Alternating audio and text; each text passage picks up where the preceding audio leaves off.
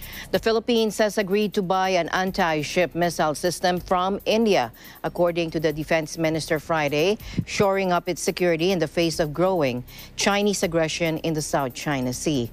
Defense Secretary Delfin Lorenzana offered new details about the nearly $375 million contract awarded to BrahMos Aerospace to supply an onshore anti-ship missile system to the Philippine Navy. BrahMos, a joint adventure or a joint venture between India and Russia, has developed a cruise missile that the Indian Defense Ministry says is the fastest in the world. The Philippines would be the first country to purchase it. India's Defense Ministry declined to comment.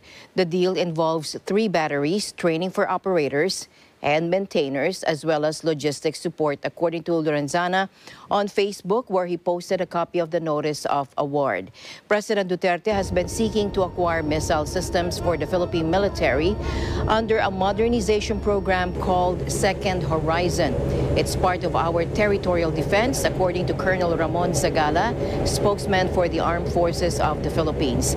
The system would act as a deterrent to potential aggressors because, quote, you can hit the target from far off.